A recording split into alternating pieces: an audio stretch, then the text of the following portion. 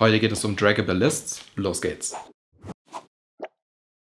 Hey Leute und herzlich willkommen an diesem Sonntag. Heute geht es um Draggable Lists, also wie man im Prinzip eine Liste mit dem Mauszeiger so ein bisschen sortieren kann, Elemente rausziehen und so weiter. Das Ganze ist ziemlich einfach, dafür gibt es nämlich richtig coole Tools und eins davon werden wir uns heute ansehen. Grundsätzlich geht das Ganze, wie gesagt, sehr einfach und deswegen verlieren wir da auch nicht wirklich viel Zeit drüber. Wenn ihr Fragen oder sowas habt, schreibt unten die Kommentare oder joint ganz oben dem Discord Community Server. Den Link dazu findet ihr, wie gesagt, ganz oben in der Videobeschreibung. Dort könnt ihr eure Fragen stellen, Anmerkungen oder einfach mit der Community ein bisschen quatschen. Auf jeden Fall schaut vorbei, es lohnt sich. Aber jetzt verlieren wir nicht mehr Zeit, also los geht's. So und los geht's mit dem heutigen Video. Heute geht es darum, wie wir Draggable oder Sortable Lists bauen. Das Ganze ist sehr praktisch, würde am Ende so aussehen. Wir haben hier an der Seite so einen kleinen Händler. Wenn wir da mit der Maus drüber gehen, ähm, können wir das Ganze sortieren, können damit dann später beispielsweise das Ganze als Array abspeichern, um es auf einen Server zu spielen oder zu aktualisieren oder was man auch immer damit machen möchte. Es gibt unendlich viele Verwendungen dafür im Prinzip. Das Ganze, was wir heute machen, basiert auf einer kleinen JavaScript-Library, nämlich äh, Sortable. Diese ist unten in der Videobeschreibung verlinkt und auch eine Live-Demo hierzu ist unten in der Videobeschreibung. Als erstes, was wir wie immer machen, ist, diese Library zu integrieren. Das Ganze funktioniert ganz einfach über npm install sortable.js safe, damit wir das Ganze in unserer Entwicklungsgebung abspeichern können und wie diese hier funktioniert, also warum ich hier einen SRC-Ordner habe, was Node-Modules bedeutet und so weiter, findet ihr wie immer unten in der Videobeschreibung, ist ein Link zu der Erklärung, wie das alles aufgebaut ist. Falls ihr neu seid, schaut euch das zuerst an, sonst könnte es eventuell ein bisschen komplizierter werden. Ansonsten machen wir jetzt weiter. Wir haben npm installiert und wollen jetzt unsere Library verwenden. Dazu brauchen wir im Prinzip nur diesen kleine, diese kleine Zeile und sagen import sortable from sortable.js. Damit haben wir die integriert und wenn ich das Ganze jetzt abspeichere und in unsere Live-Ansicht gehe, seht ihr, es passiert auch nicht sonderlich viel. Allerdings, wenn wir hier reingehen, das Ganze untersuchen, im Body-Tag auf unsere Global, diese in einem neuen Tab öffnen, seht ihr, die ist schon voll. Was heißt, wir haben es erfolgreich importiert. So, aber was müssen wir als nächstes machen? Ich würde sagen, wir stylen das Ganze erstmal etwas. Und zwar habe ich jetzt hier schon etwas vorbereitet, nämlich eine Main CSS. Hier ist schon ein bisschen was gestylt. Ist nicht wirklich wichtig, sorgt nur dafür, dass der Hintergrund dunkel ist und dass alles in der Mitte zentriert ist. Grundsätzlich könnt ihr das, wie gesagt, anpa ja, anpassen, wie ihr möchtet. Das erste, was wir machen, wir haben eine Index.html. Hier befindet sich eine Liste mit der Klasse ListContainer. Das ist unser erstes Element, was wir stylen wollen. Das kopieren wir uns jetzt einfach mal hier rein. Ups. Zack. Und können es jetzt stylen. Ich kopiere mir einfach mal ein paar CSS-Zeilen hier rein. Unser Margin Padding 0, weil standardmäßig hat ein UL-Element Margin und Padding. Das müssen wir vernichten. Außerdem sage ich, wir machen Border Radius 1, also ein, eher ein Rem, damit wir das Ganze ja so ein bisschen abgerundete Ecken haben. Sieht ganz nett aus. Overflow Hidden, damit diese abgerundeten Ecken auch wirklich funktionieren, sonst würde, weil die orange Farbe kommt von den Elementen an sich, würde die orange Farbe hier rausgehen. Das nächste, was wir machen, wir legen da einen kleinen Schatten hinter, damit das sich so ein bisschen hervorhebt, ist wie gesagt Geschmackssache. Und wenn wir das Ganze jetzt abspeichern und aktualisieren, dann sehen wir, wir haben schon den Schatten, wir haben abgerundete Ecken, allerdings passt das hier drin noch nicht wirklich. Deswegen müssen wir jetzt hier drin unser List Element nehmen. Unser List Element fügen wir jetzt einfach hier drunter, sagen List Element und das wollen wir ebenfalls stylen und hier kopiere ich mir ebenfalls ein bisschen was hinzu und sage einmal Margin 0, dann Background Orange, Padding 2 Rem, dass so ein bisschen Abstand ist zwischen dem Text und dem äußeren Rand, List Style None, damit die Punkte weg sind, sage Font Size 2 Rem, also 20 Pixel, von Family soll eine Sans Serif sein, also ohne Serifen, irgendeine Schrift, dann Farbe natürlich weiß, Cursor soll Move, wobei das können wir hier erstmal rauslöschen. Dann Border Bottom Solid, also dass einfach diese schwarze Linie unten drunter ist. Wir sagen, also wir fügen dem Ganzen noch eine Transition hinzu und sagen hier Display Flex, Row und das Ganze praktisch zentriert ist. Wenn wir das Ganze jetzt abspeichern und aktualisieren, sieht das Ganze schon deutlich mehr aus, wie wir später haben wollen. Grundsätzlich ist das schon alles, was wir erstmal brauchen. Jetzt können wir weitermachen, ein bisschen Funktionalität zu dem Ganzen hinzuzufügen. Und das erste, was wir machen, ist, wir erstellen uns ein neues Element. In unserem Fall sage ich einfach Konstruktor, Element und äh, also const Element gleich Document Query Selector. Und unser Query Selector soll natürlich jetzt etwas hinzuzufügen. In unserem Fall sagen wir Draggable List. Was heißt, wir haben in unserer Index.html unserer Liste eine ID gegeben, nämlich Draggable List. Das suchen wir hier und unser Element führt nun zu Draggable List. Das nächste, was wir machen, ist, wir stellen uns eine weitere Variable, diese heißt Sortable und ist ein Element, nämlich Sortable, was wir hier oben ja importieren. Theoretisch hätte man es jetzt auch kopieren können und sagen create und fügen einfach unser Element hinzu. Das Ganze speichern wir jetzt ab, lassen es aktualisieren und jetzt können wir unsere Sachen hier bewegen. Und ihr seht auch hier schon ganz leicht, dass die 2 jetzt hier unten steht und nicht mehr da oben. Aber so sieht es noch ein bisschen, naja, verwirrend aus. Also man sieht ja nicht wirklich, was sich hier verändert. Also es verändert sich zwar, aber es ist nicht wirklich nutzerfreundlich. Wenn ich hier bin und das bewegen kann, dann ähm, sehe ich ganz genau, welche Position ich habe und das müssen wir natürlich auch machen. Das Ganze lässt sich über CSS lösen und zwar um zwei kleine Klassen, die wir jetzt hinzufügen müssen. Nämlich einmal in dem Moment, wo unser List-Element eine weitere Klasse bekommt, nämlich Sortable Ghost, das ist nämlich die Klasse, die vergeben wird an das Element, was ihr jetzt im Hintergrund, also die 8, die im Hintergrund ist, die sich in der Reihenfolge verändert.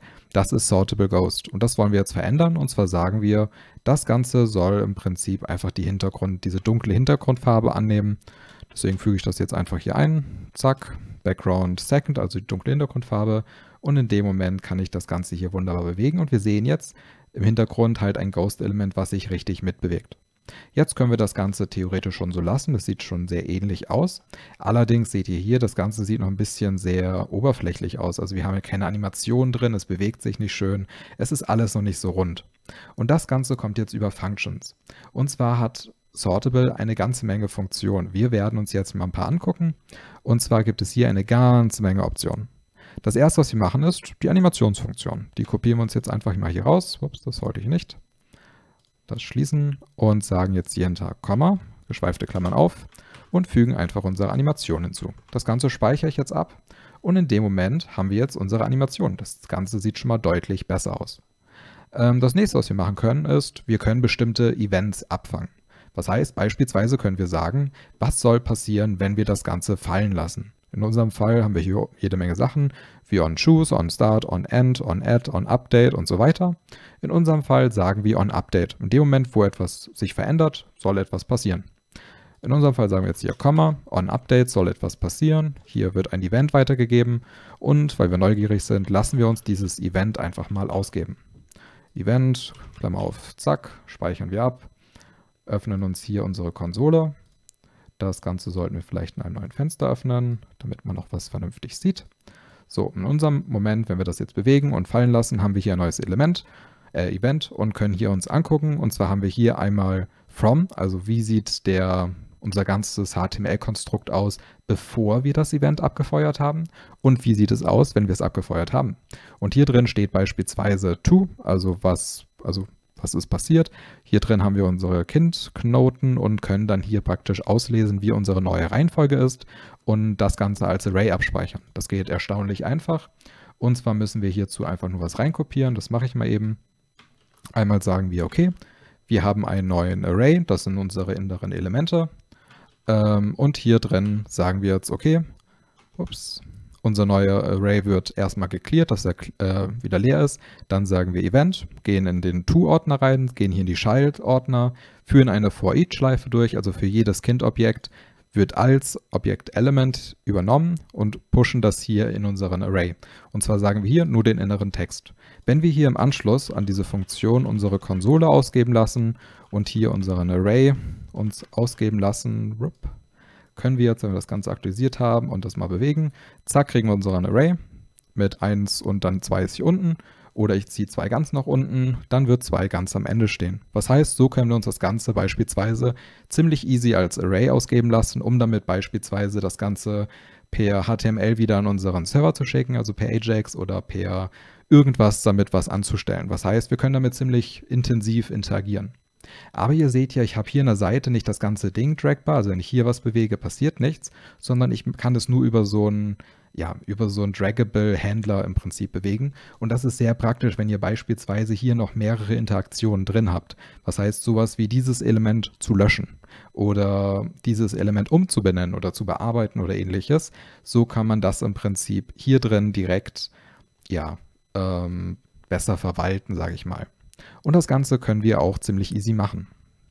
Und zwar müssen wir hierzu hier drin nur ein kleines Element hinzufügen. Und zwar sagen wir einfach, okay, img wollen wir hinzufügen und hier sage ich Punkt, Punkt, nee, warte, ähm, Assets slash icons slash äh, drag.svg. Alt brauchen wir in diesem Fall nicht. Und sage hier einmal Leerzeichen, kopieren wir das überall, machen wir hier überall einen Cursor rein, drücke Enter, habe jetzt überall ein Bild eingefügt, aktualisiere das Ganze und es sieht nicht wirklich gut aus. Das müssen wir jetzt natürlich noch anpassen, so können wir es nicht lassen. Deswegen gehe ich jetzt in List Element. Hier drin habe ich jetzt ein Bild. Ups, das möchte ich bearbeiten. Dieses Bild es darf maximal 20 Pixel groß, 20 Pixel weit sein und hat einen Abstand nach, äh, nach rechts von 20 Pixeln. Wenn ich das Ganze jetzt abspeichere, sieht das schon genauso aus wie hier. Allerdings können wir immer noch das ganze Ding bewegen. Und hier kommt wieder unsere Library ins Spiel. Und zwar gehen wir jetzt nochmal hoch und haben hier einen Handle, hier, Handle, MyHandle nehmen wir. Das wollen wir jetzt einfügen. Das fügen wir jetzt einfach noch hier oben mit hinzu. Und nehmen unsere Klasse MyHandle, könnt ihr natürlich umbenennen, wie ihr möchtet, und geben jetzt jedem unserer Bilder die Klasse MyHandle. Das müssen wir jetzt natürlich leider auch noch überall einfügen. Das habe ich mir leider nicht im Vorfeld, ah, was ist denn los, vorbereitet, sondern muss das jetzt einmal manuell machen. Aber man hat ja Zeit. So, das Ganze haben wir jetzt abgespeichert. Jetzt können wir es hier nicht mehr bewegen, sondern nur noch hier unten. Und damit wir das Ganze schön machen können, sagen wir jetzt myHandle und sagen hier drin alle Bilder mit äh, myHandle sollen den Cursor Move bekommen. So, in dem Moment, wo ich das vergeben habe, können wir jetzt hier mit der Maus das Ganze wunderbar bewegen und können damit arbeiten, können das Ganze abspeichern und wunderbar überall verwenden. Wie gesagt, das Ganze ist ziemlich easy, also viel Spaß beim Nachmachen und das war's.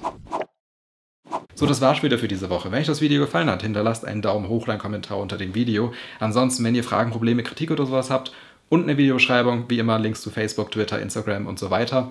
Ansonsten, wenn ihr diesen Channel unterstützen möchtet und ein paar zusätzliche Inhalte genießen wollt, dann joint den Patrons. Patron ist eine Plattform, wo ihr einfach diesen Channel unterstützen könnt und gleichzeitig einen Custom-Rang bekommt. Ihr kriegt Zugang zu einem Raum in Discord und ihr kriegt natürlich zusätzliche Inhalte und die Videos hier einfach eine Woche eher. Ansonsten sehen wir uns nächste Woche wieder. Bis dahin viel Spaß und ciao.